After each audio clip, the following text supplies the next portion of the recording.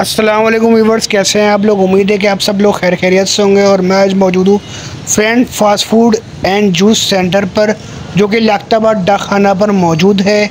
तो चलते हैं वीडियो की तरफ़। आप लोग मेरी वीडियो इसी तरह देखते रहें और मेरी वीडियो के साथ जुड़े रहें और मेरी वीडियो के एंड तक देखें।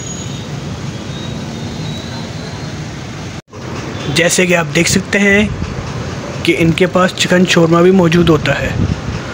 तो आप मेरी वीडियो इसी तरह देखते रहें और मेरी वीडियो के साथ रहें। भाई कहाँ चला गया अब आप देख सकते हैं कि ये जिंगर बर्गर रेडी हो रहे हैं और इसके साथ साथ क्लब सैंडविच भी तैयार हो रहे हैं। तो आप मेरी वीडियो के साथ इसी तरह जुड़े रहें।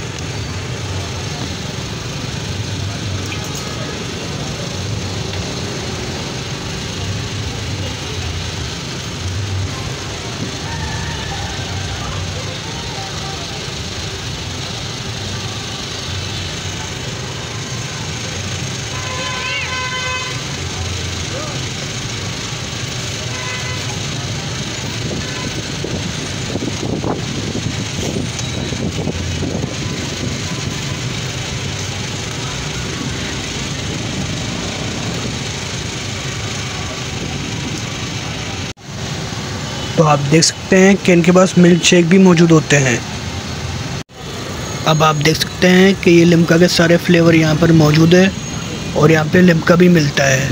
तो आप मेरी वीडियो इसी तरह देखते रहें और मेरी वीडियो के साथ जुड़े रहें। जैसे कि आप देख सकते हैं कि यहाँ पे बड़ा रश हो रहा है और लंबी लाइन लगी हुई है। तो फाइनली जैसे कि हमारा जो है सिंगर बर्गर वो रेडी होकर आ चुका है और अब मैं आपको उसका टेस्ट करके दिखाऊँगा उसका टेस्ट कैसा है और शोरमा भी है और फ्राइज भी है तो अब मैं आपको उसका टेस्ट करके दिखाऊँगा कि उसका टेस्ट कैसा है। चले भाई। देख सकते हैं आप डेढ़ सौ रुपये में सिंगर बर्गर भी कितना बड़ा है, और गर्मा गर्म है, और अब मैं उसका आपको टेस्ट करके दूँगा इसका टेस्ट कैसा है। तो आप मेरी वीडियो इसी तरह देखते रहें और मेरी वीडियो के साथ जुड़े रहें।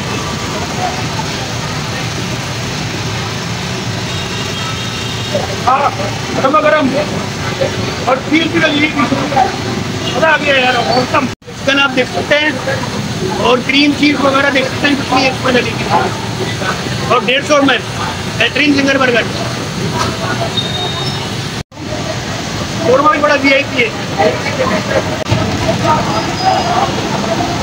गरम हो रहा है उस वजह खुल नहीं रहा है ये। बहुत गर्म हो रहा है। हाथ चलने में इतना गर्म हो रहा है। और अपने आप को टेस्ट करके दूँ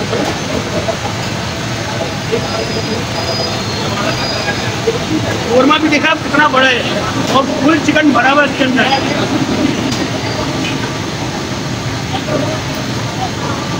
हाँ। शोरमा अभी बहुत मज़े का है और बहुत स्पाइसी टेस्ट है इसका।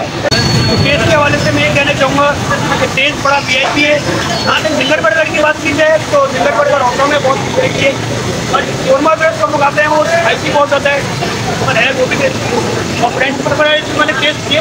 तो फ्रेंच फ्राइज भी बहुत अच्छे हैं, बने हुए माशा से।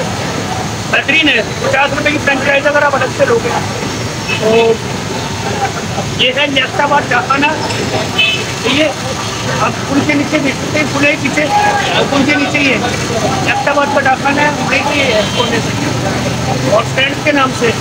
फ्रेंड बर्गर शॉप के लोग तो आप लोग इधर आएँ और यहाँ का विज़िट ज़रूर करें। और आगे कमेंट में मुझे लाजमी बताएँ।